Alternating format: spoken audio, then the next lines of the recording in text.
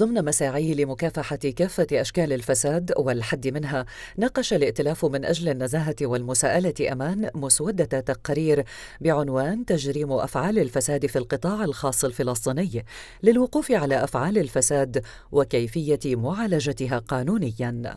كما تعلمون أن فلسطين انضمت للاتفاقية الدولية لمكافحة الفساد وهناك مجموعة من الالتزامات عليها. جزء منها ما يتعلق بضرورة أن يكون هناك موائمة للتشريعات الفلسطينية مع آه، آه، ضرورة تجريم بعض أشكال الفساد الموجودة في القطاع الخاص.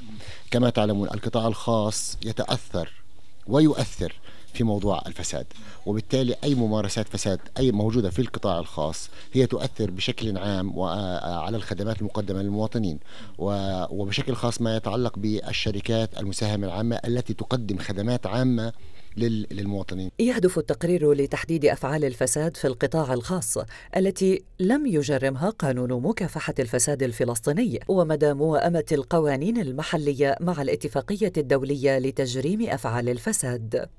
جاء مكافحة الفساد بالقانون بموائمة جزئية للاتفاقية بحيث أنه في بعض الأفعال ما جرمها. مثل الرشوة في القطاع الخاص لغاية الآن إحنا عندنا غير مجرمة. موضوع اختلاس الأموال في في القطاع الخاص هون عالجها المشرع الفلسطيني بأنها على أنها جريمة إساءة ائتمان.